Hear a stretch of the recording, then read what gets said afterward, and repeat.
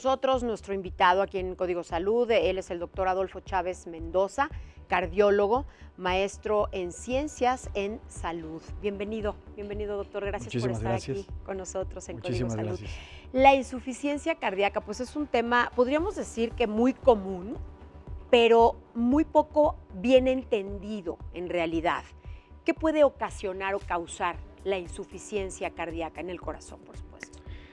Bueno, más bien tenemos que entender bien qué es este tema. Es un tema, eh, más bien lo vemos como una complicación de las enfermedades cardiovasculares en general. Sí. Sabemos muy bien que los factores de riesgo cardiovascular actuales, digamos, diabetes, hipertensión, colesterol alto, triglicéridos. Triglicéridos. Sabemos muy bien que esas eh, patologías nos pueden llevar como factores de riesgo a enfermedad cardiovascular. El principal y el más temido y la primera causa, y muy bien lo decías hace unos minutos, la primera causa de muerte en el mundo es el infarto del miocardio, es la enfermedad del corazón. Sí. Que el infarto del miocardio, conforme han ido pasando los años y conforme han ido pasando los tratamientos y mejorando las intervenciones, hemos logrado a lo mejor disminuir un poquito la mortalidad por este tema. Sin embargo, queda la complicación, que justamente es la pérdida de movimiento, la pérdida de eficacia, que bien lo decías, de movimiento del corazón y por lo tanto obviamente el bombeo de sangre al resto de los órganos. ¿Cuáles serían los síntomas?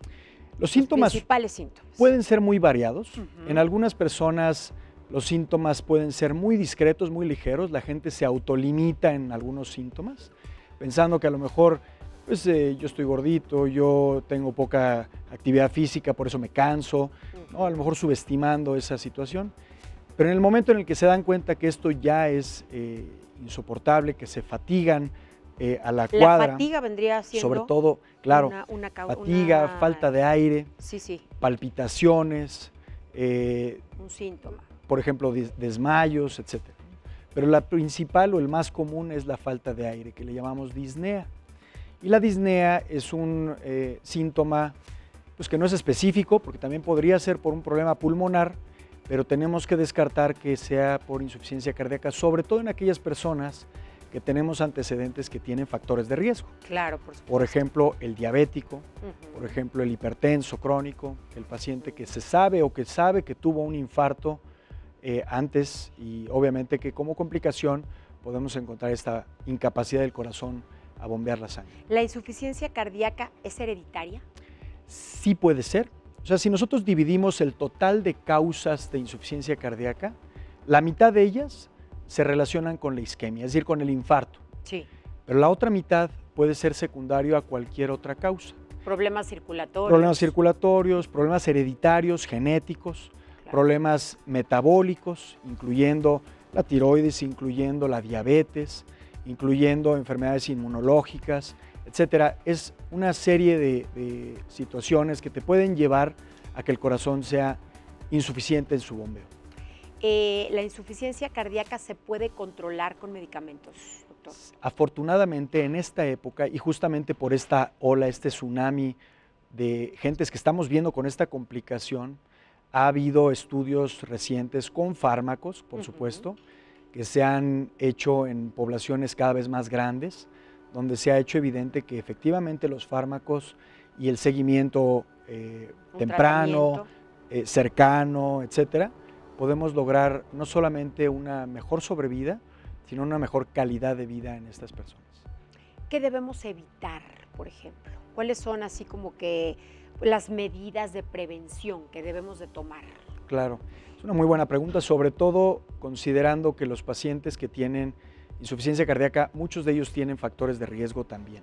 Claro. son pacientes que probablemente les falte controlarse un poquito mejor su glucosa, su diabetes, controlarse mejor su presión, controlarse mejor su colesterol, controlarse mejor los factores de riesgo que lo desencadenaron o que lo llevaron a este problema. Habla usted de someterse a estudios constantemente. Someterse a estudios para tenerlo lo más estable en todos sus factores de riesgo. Eso es importantísimo. Muy importantísimo. De verdad que muchas veces no le hacemos caso, como usted bien dice, desde una simple fatiga al subir las escaleras o cuando uno camina demasiado, en fin no le hacemos caso y ese puede ser un foco rojo que nos está avisando que algo no está bien con nuestro corazón.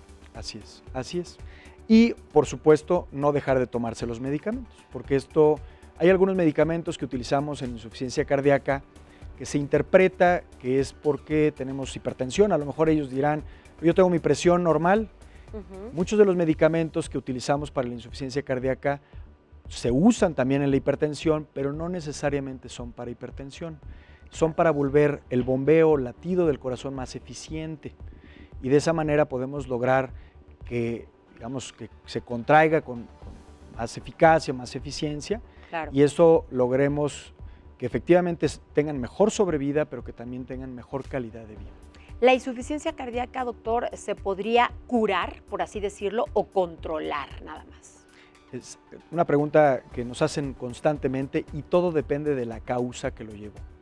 Si la causa es una etiología, por ejemplo, diabetes mal controlada, por ejemplo, un hipotiroidismo, la tiroides que esté también con problemas, problema reumatológico, si nosotros logramos controlar ese problema, podemos hacer que el corazón otra vez se vuelva a fortalecer y vuelva otra vez a tener su eh, eficiencia, su función normal.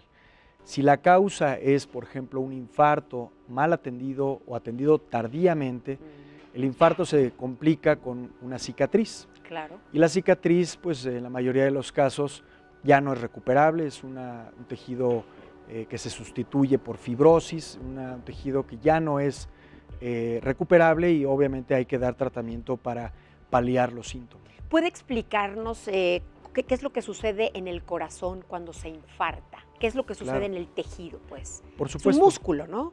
Por supuesto. Un ejemplo muy claro, por ejemplo, ¿qué pasaría si yo a mi mano me pongo una liga en el dedo y le doy una vuelta a la liga? Probablemente el dedo empiece a disminuirle el flujo, empiece a molestar, empiece a hormiguear, pero a lo mejor si no muevo el dedo, morado. A lo mejor sí. Si no lo muevo, a lo mejor no pasa nada. Si yo le doy dos vueltas a la liga, eso incrementa, por supuesto, la disminución del flujo y el dedo ahora sí se va a poner morado. Y si no quito la liga pronto, probablemente ese dedo se va a infartar. Infartar significa que ese tejido se muere. Es decir, que ese tejido se vuelve no funcional, no útil más. ¿Se paraliza?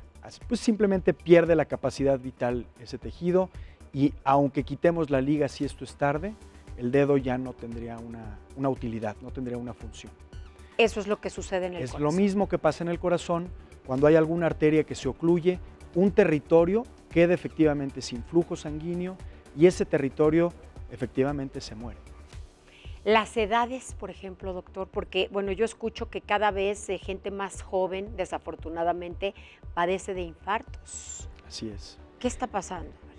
Hay muchos factores que influyen en esto. Por supuesto que la genética tiene mucho que ver. El que nosotros tengamos papá, mamá, diabético, hipertenso, etcétera, eso es un factor de riesgo que desafortunadamente no nos podemos quitar de encima. Es un foco rojo. Ese es un foco rojo, efectivamente. Bien. Y que nosotros, si además le agregamos a que tenemos sobrepeso, que aparte somos sedentarios, que aparte nos gusta comer de todo, sin control, etcétera, y no nos cuidamos y no identificamos tempranamente la hipertensión, la diabetes, la dislipidemia, etcétera, estos factores de riesgo eventualmente si nosotros los descuidamos y que desafortunadamente son factores de riesgo que no duelen, no, no, no, no, no, no, es que además es silencioso. Así Esta situación es silenciosa. Yo les puedo compartir que desafortunadamente perdí a mi padre eh, pues a los 63 años de edad, muy joven a causa de dos infartos. El primero no se lo trataron bien, como usted mencionaba, doctor, y cuando le vino el segundo infarto, desafortunadamente no se pudo hacer nada.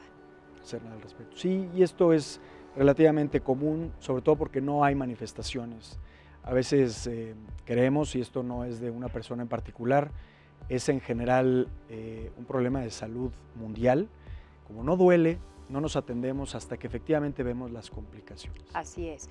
A manera de conclusión, doctor, ¿cuáles serían eh, los principales síntomas que debemos atender o en los cuales debemos prestar atención y acudir al médico de inmediato que nos están determinando, que nos están diciendo que hay un infarto?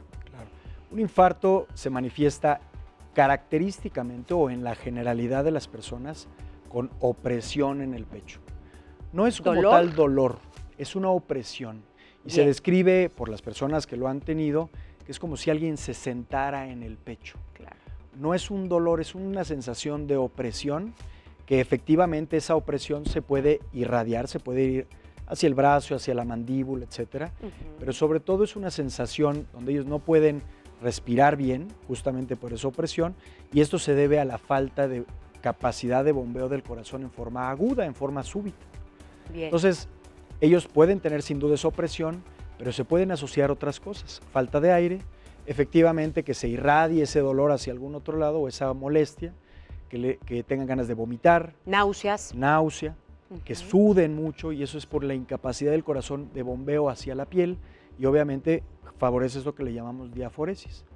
Si tienen estas molestias asociadas sobre todo al esfuerzo, es decir, que yo subo una escalera y que empiece a sentir esa opresión, eso no es normal. Hay que acudir al médico. Hay que acudir al médico. Al cardiólogo. Sin duda, sobre todo si tenemos los factores de riesgo que acabamos de comentar, diabetes, hipertensión, colesterol alto y no nos hemos atendido. Ya la edad no es un tema y muy bien lo decías. Claro. La edad porque puede ser una persona de 40 años, claro. tener estos síntomas y el hecho de decir, no es que yo no tengo 60 años, no me exime de esa posibilidad. O 30 años. O 30. Definitivo. Doctor, le agradecemos mucho. Al contrario, le agradezco este, Ahora sí que nos haya aclarado todas nuestras dudas aquí en Código Salud. Estamos para servirte. Muchas gracias por